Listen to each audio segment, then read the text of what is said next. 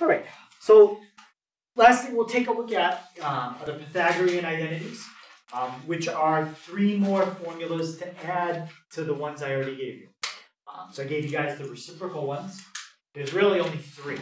We did six, but I showed you that the other three were repeats. Just just writing the same thing a different way. So there's three reciprocal.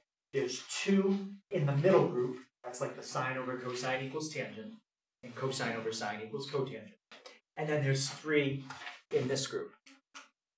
Now, when you think of the Pythagorean um, theorem, what what exponents come up a lot in the Pythagorean theorem? Squared, right? So all these identities are going to have things squared. Right? We're going to have we're going to have uh, three identities, and we have six trig functions. So we're going to have two trig functions in each identity. Here's the first one. It has a sine and a cosine. And it says that sine squared plus cosine squared always equals 1. Again, it's not important. Well, sine squared of what? 10 degrees, 12 degrees, 15 degrees, anything. It doesn't matter. You can take any angle you want, take the sine and square it, take that same angle, cosine and square it, add them up, and you always get 1.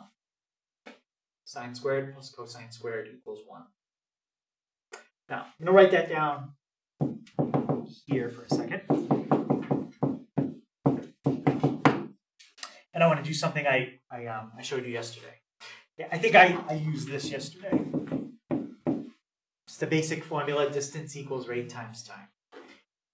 And I did something like this. Is that a different formula than the one above it? No, it's the same formula rearranged. So let's look at this one. Cosine squared equals 1 minus sine squared. Is that a different formula? No, it's the same formula rearranged. All I did was take this and subtract it from each side. I moved it over to the right. So I'm not going to write every single identity, every single possible way you can rearrange it, because then that's just a lot, right? But I can do that. I could also do this. Sine squared equals 1 minus cosine squared. That's the same thing written every possible way you can write it. With the 1 by itself, cosine squared by itself, and the sine squared by itself. Okay. To get these other two, I just subtracted one of them to the other side. Okay, so that's the trickiest thing we have to look for. You might see a problem with that in it, 1 minus sine squared. And you have to remember, okay, well, it's a 1 and it's a sine squared. All right, so it's this first identity just rearranged a little bit. Okay, so that's the trickiest thing we have to look for. Okay, here's our um, second Pythagorean identity. 1 plus cotangent squared equals cosecant squared. And you can rearrange that all different ways. Could bring the 1 to the other side. I'm not going to write it all those different ways. So if you see a problem and it's got a 1 in it, it has a cotangent squared in it, you want to be trying to look, look at number 2, right? Maybe there's a cosecant squared in there somewhere rearranged. And the third one uh, is tangent squared plus 1 equals secant squared.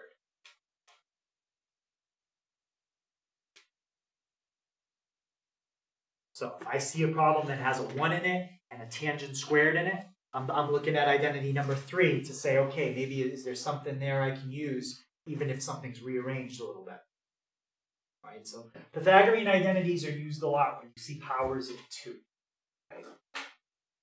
Not always, because we did have some problems yesterday that had exponents of 2, and we didn't use any of those. Um, but today, when we see an exponent of 2, these are probably going to pop up somewhere. Okay, and then this, I think, yeah. So verify is what you guys basically had to do on the homework. Every single problem today is going to be a verify. Verify is, is a little easier because they give you what's on the left. They give you something on the right. So you already know the answer you're supposed to get. All you have to do is fix the left hand side, simplify it until you end up with what's on the right. If you get a problem that just says simplify and they don't give you this, and it just said simplify, then you just got to keep going until you think you're done, which is harder because sometimes you don't really know am I, am I done? Should I, should I do more? Should I stop? Well, you're not going to have to worry about that today because you'll know you're done when you get sine squared in this problem. So that's basically what I write right here. All right, so verify, they give you what's on the left, they give you what's on your right, and your goal is to figure out and show how the two sides are the same. Now, always start with the more complicated side. Because it's always easier to take something that's complicated and simplify it. Don't try to take something that's simplified like that and complicate it to look like the left. That's that's harder to do.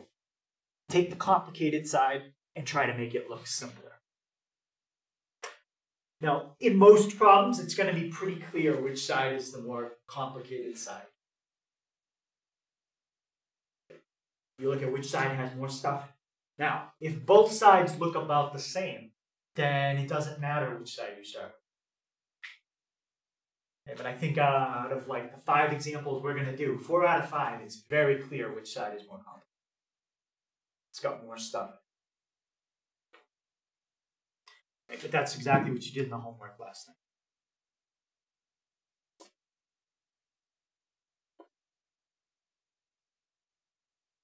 So in all these problems, I'm not really looking for the answer. You, I'm going to give you the answer on every problem. I'm looking for the work in the middle. You got the first step, you got the last step. Show me the steps in the middle. Okay, so any questions on um, on that or the three Pythagorean identities before we uh, look at some examples?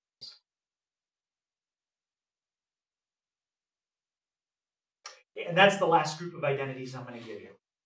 Reciprocal, the tangent and cotangent, and Pythagorean. There's there's hundreds more, but that's all that we do in this class. Probably thousands more. Okay, so verify.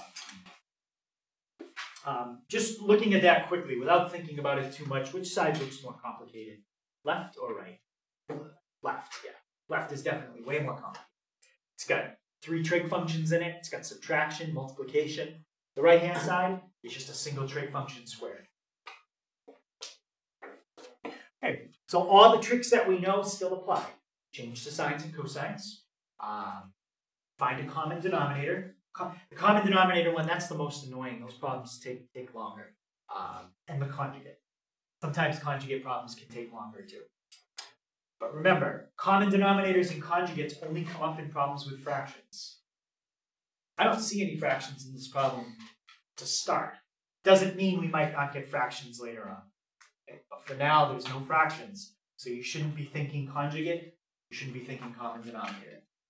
So what's the only trick we can try um, to start this problem off?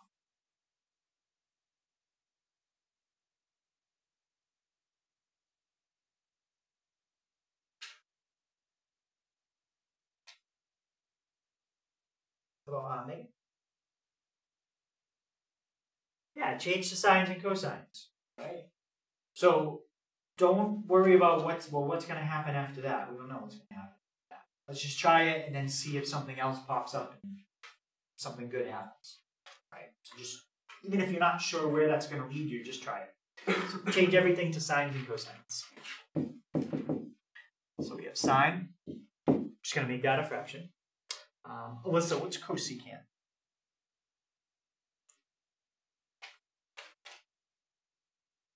Uh, one first. One over sine. And then the second part already is cosine, so I'm just going to leave it alone. And I'm also not going to keep copying the right hand side. I'm just going to work with the left, and I know I'm done when I get what's on the right. Uh, so, Andrew, what's going to happen here? Everything's gonna cancel out on the left. Uh, can you weigh everything? Can you- This the sine over one and the one over sine. yeah, so what are you left with? One. Just one. you're left with 1 divided by 1, which is just 1. 1 minus cosine squared. Now, does that look kind of like something here? 1 minus cosine squared.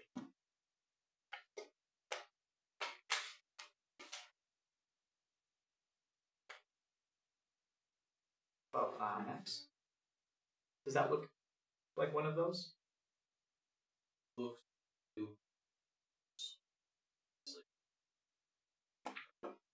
Well, look back at what's your trig function here? Cosine. Is there a cosine in number two? No. Number one. So one minus cosine squared looks kind of like number one, but it's number one rearranged. It's one minus cosine squared. I did the first one all the different ways you could write it, but look at what I wrote earlier. 1 minus cosine squared is equal to what? 1 minus cosine squared is sine squared.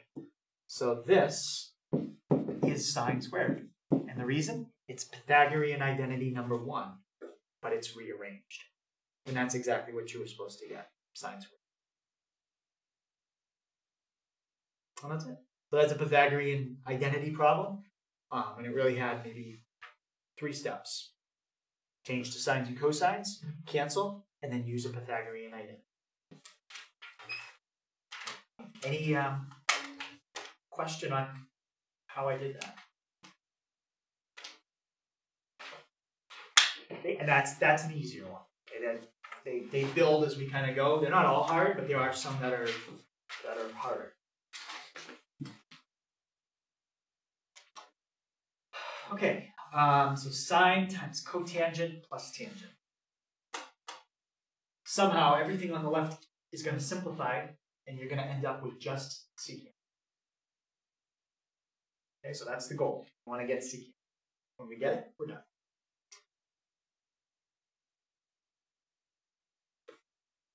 Brianna, which side looks more complicated here? Left, definitely. So we're going to work with the left, do what we can.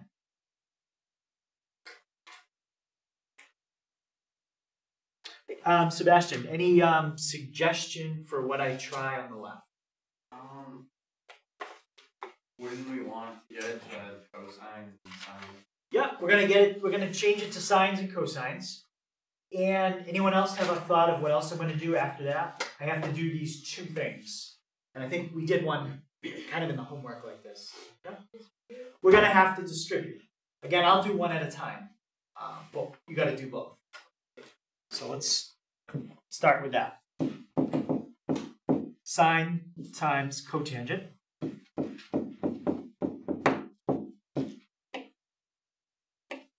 That's the first part, sine times cotangent. And then the second part, copy down your plus, sine times tangent.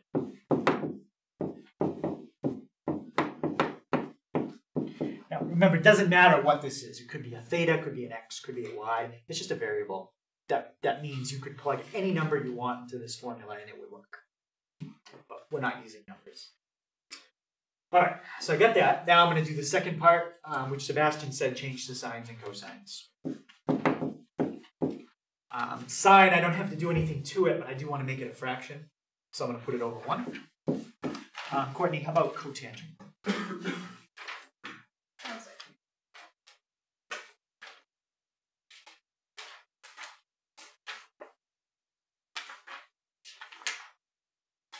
Uh, one over.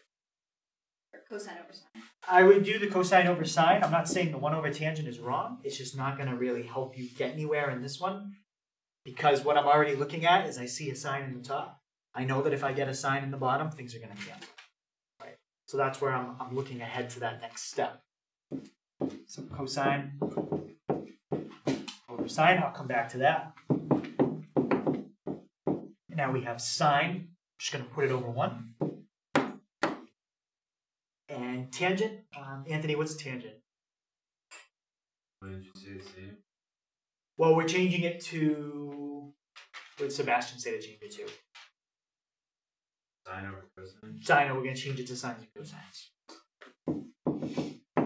sine over cosine. All right. Now, can I cancel like this? Sine, sine. No. You cannot cancel across a plus sign. You can only cancel if you have two things multiplied, not not added. But we do in the first part. Two things multiplied, so we can cancel that. Is there anything that cancels in the second one? No. No. So all we're left with in the first one is cosine over 1.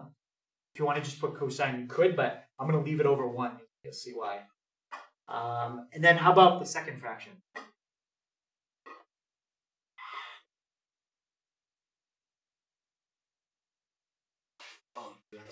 Yeah, what am I going to put after the plus sign? sine square. Yep, sine squared over cosine. Okay, so now let's think about the three basic tricks we have. Change to sines and cosines. Would that work at this step? Why not? It already is. We already changed to sines and cosines. What's something else we can do after we've changed to sines and cosines? We've got fractions now, so that opens up more options.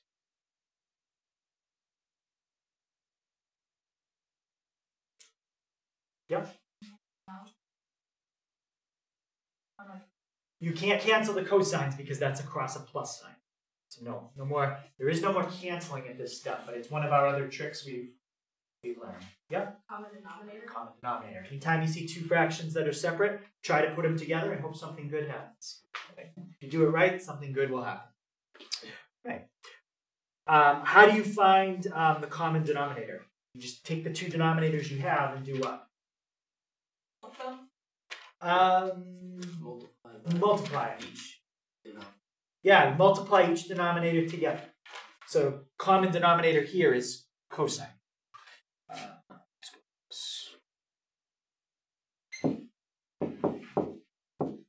now, I'm going to start with the second fraction. What do I have to do to the denominator in the second fraction to make it the common denominator? Hmm?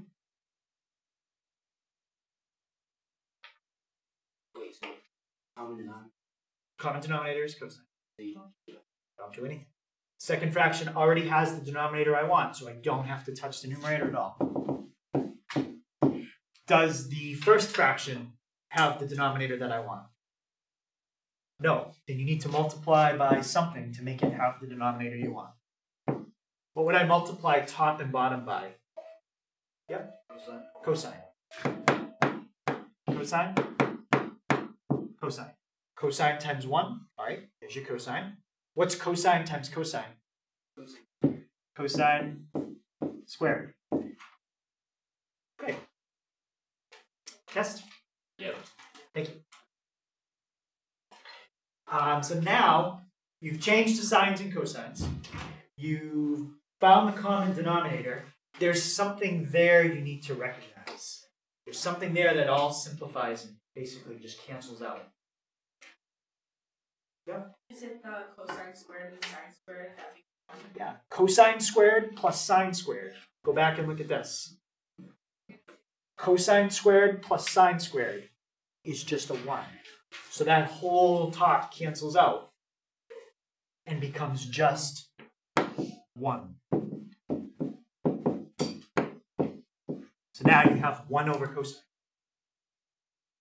1 divided by cosine, is a name for that. What's the function you get when you flip the cosine? Yeah. you get the secant. And if we scroll back up, that's exactly what you were supposed to get. Secant. So that's that's the whole problem. So for that particular problem, I, I know I said there's always multiple ways to do it. You might come up with a different way, but I don't think you're gonna come up with any shorter way. That that's probably about as good as it gets for that problem. Any um, questions on that? because it had a, it had a lot of things in it. it had a distributive, change to sines and cosines, common denominator, a Pythagorean identity, and then a reciprocal identity. So there's really five, five different steps in there. Okay, let's look at this one.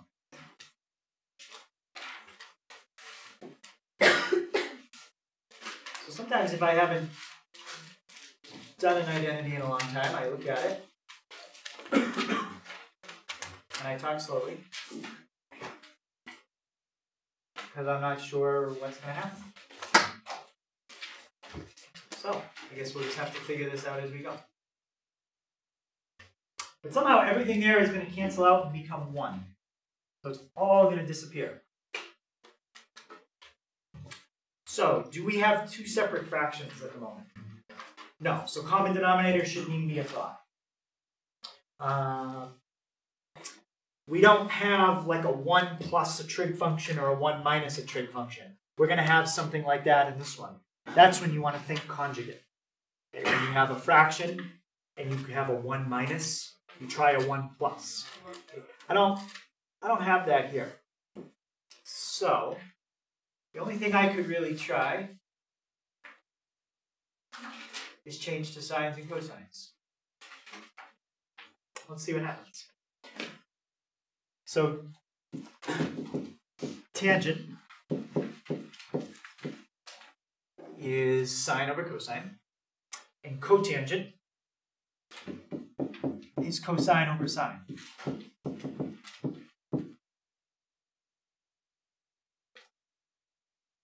Okay, so I'm starting to see what's going to happen.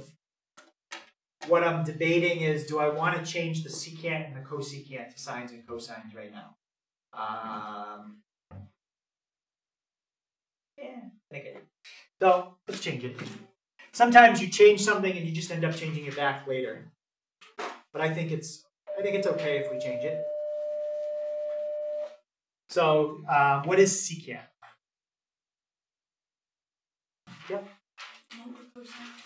One over cosine times what's cosecant?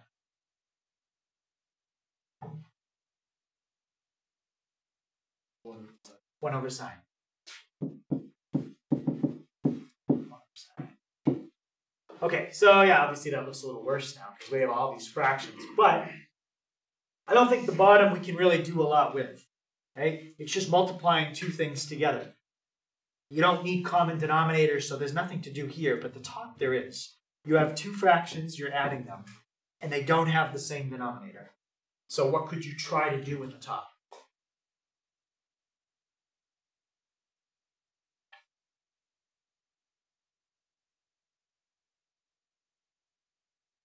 You got two fractions with different denominators. Find a common denominator. Okay, forget about the bottom. There's nothing you can do with it. Usually, addition is where you kind of want to focus. Addition or subtraction, you can put that together as one thing. This already basically is one thing. Okay, multiplication is not. There's nothing else to do with it. All right.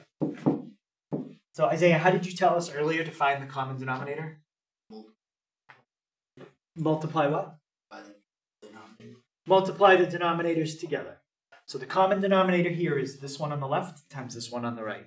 It's going to be a cosine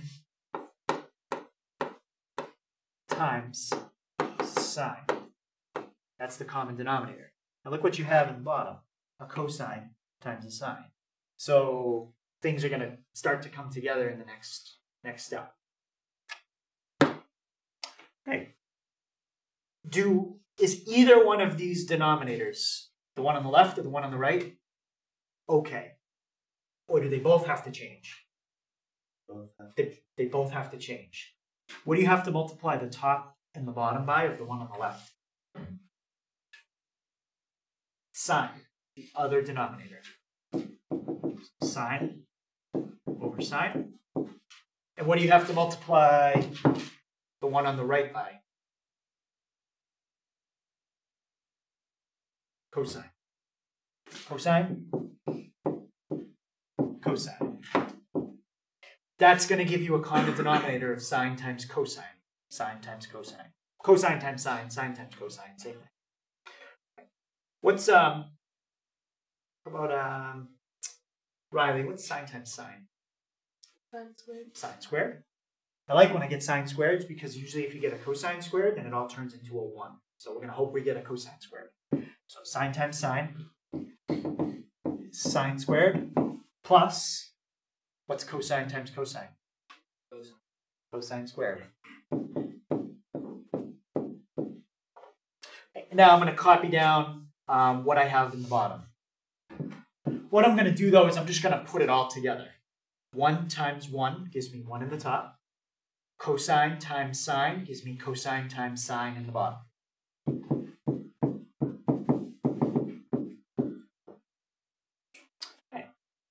Now I, think I already said it, but in this fraction over a fraction, before you flip and multiply, what's going to simplify first? Yeah, this. What, what is sine squared plus cosine squared? One. 1. So now, look what you have. 1 over cosine times sine divided by itself. 1 over cosine times sine. Now, I, I don't even think you need to flip and multiply. You're dividing two things that are the same. 1 over cosine sine, 1 over cosine sine. What do you always get when you divide two things that are the same? One. You get 1. And that's what you were supposed to get.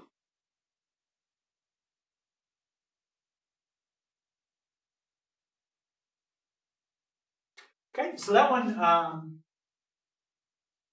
you know, kind of like middle difficulty. You had to you had to change the sines and cosines, find a common denominator, use a Pythagorean identity, and then you were done.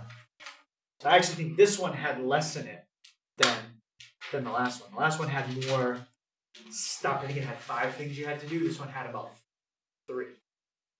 Four if you include dividing two things that are the same and getting one as the answer.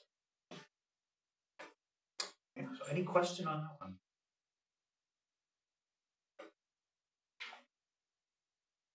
All right, um, let's try this one.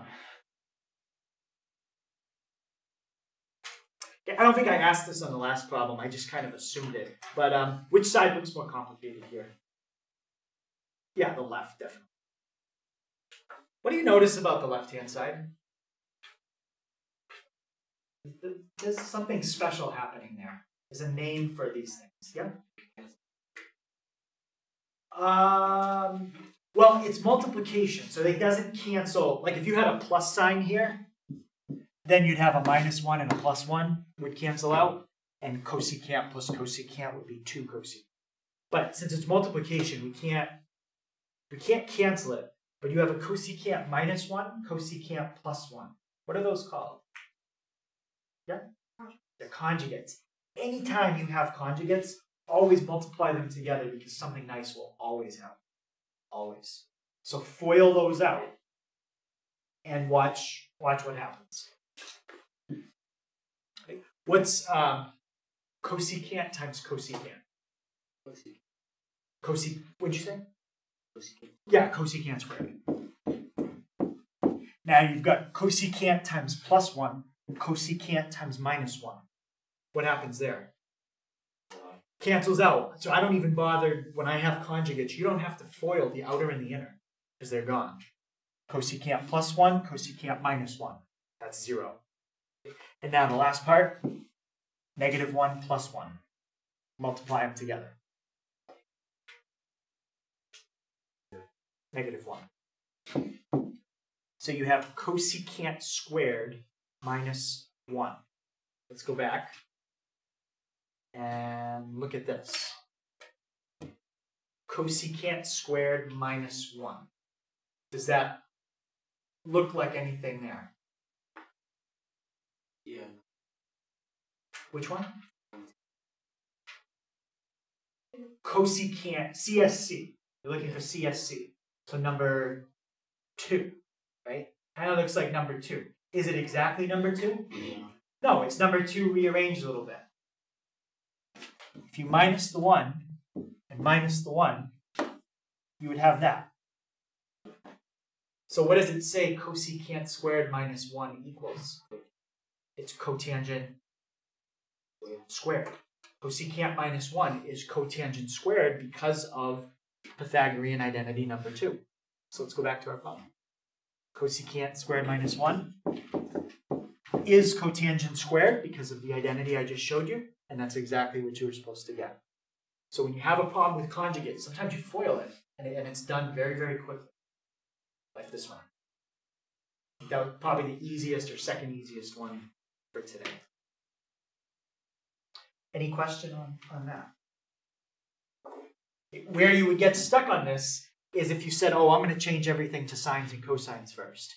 Now it's now it's a mess because now you're going to have one over sine minus one, one over sine plus one, and then you say, "Okay, now I'll FOIL it."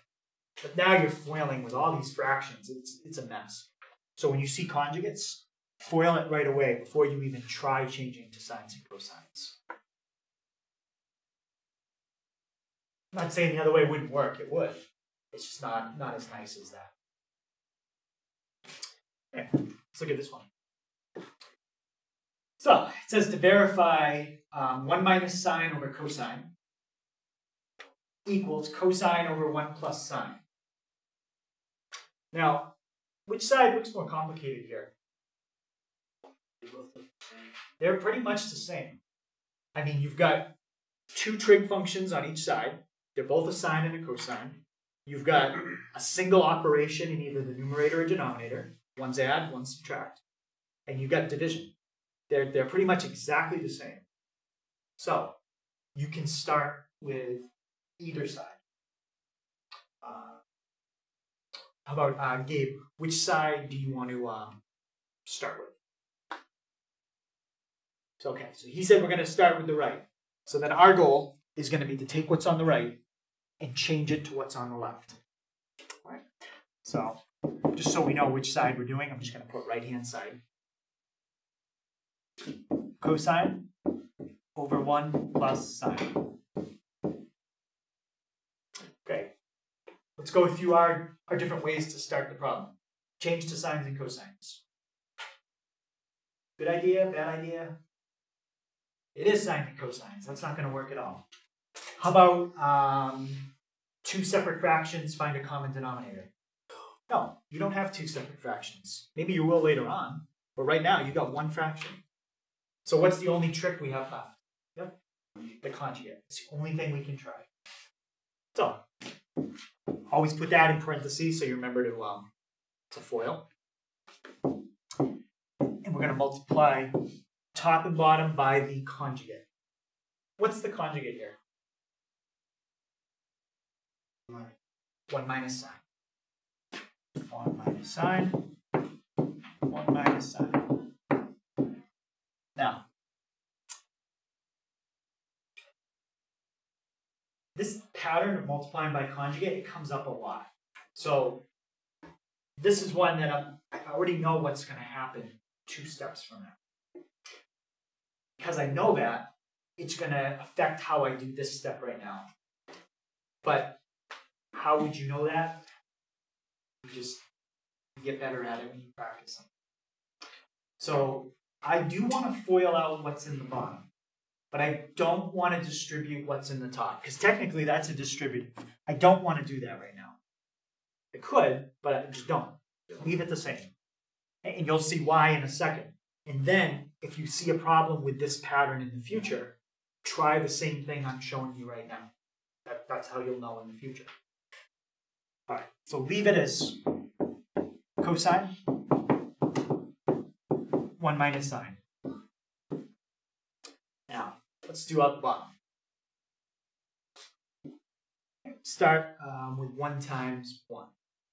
Uh, about, uh, Jason, what's uh, 1 times 1? 1.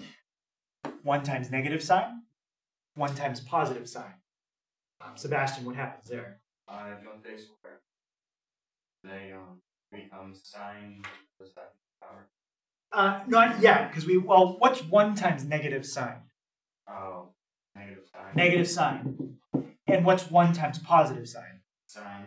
Positive sine. And what's a negative sign and a positive sign come out to? They cancel out. They cancel out, so that all becomes 0. So we don't have to worry about that.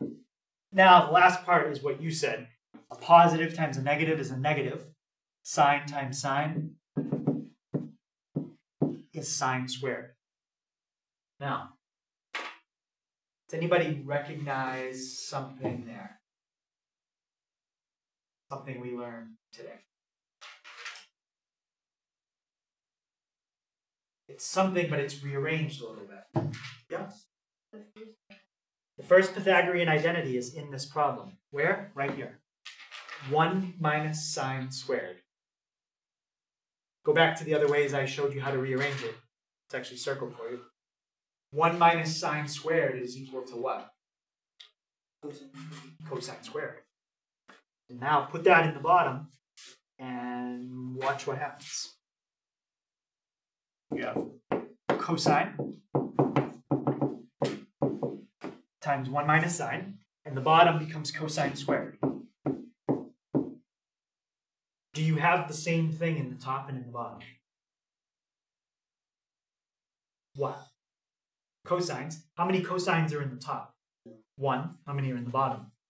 Two. So you can cancel one from the top, one from the bottom, and you're left with 1 minus sine over cosine. And if you scroll back up, the left hand side is 1 minus sine over cosine. That's what they want.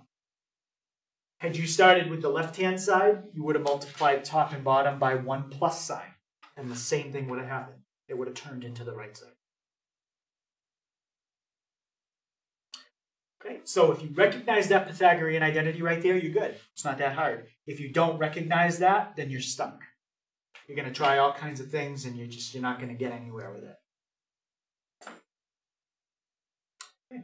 Any um any question on that one?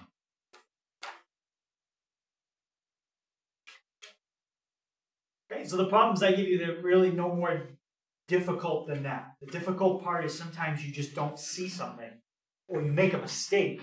So then what I want you to see isn't even in the problem anymore because you made a mistake. That, that's where you get messed up. Was the denominator supposed to was the denominator cosine squared? Yeah. And then when you cancel it, it just became regular cosine? Yeah. Because if you want to think of it, this is cosine to the first, and the bottom is cosine to the second. Okay. So you can cross one cosine power out and one cosine power out there. Yep. That's how we get that. Any um anything else on that one? Okay, um so tonight this homework is in the book. Um and I think in numbers nine through fourteen, they tell you what to do. Right? These are like the ones we did in class, 19 to 27, but skip 21. You don't have to do 21. It's an identity I didn't teach you. 9 through 14, though, are easier. They tell you, multiply by the conjugate. It's like they give you a hint at how to solve the problem. All right. So I'll, I'll unlock the cabinet. You've got uh, about 25 minutes or so left. You have to touch base with me about anything you're missing, or if you want to check your grade online and ask me questions about it, all your grades are updated, so you can ask me whatever you want to know about your grade. Yes, Why does it say omit twenty-one? because I want you to skip it. Okay. Yes. Skip 21.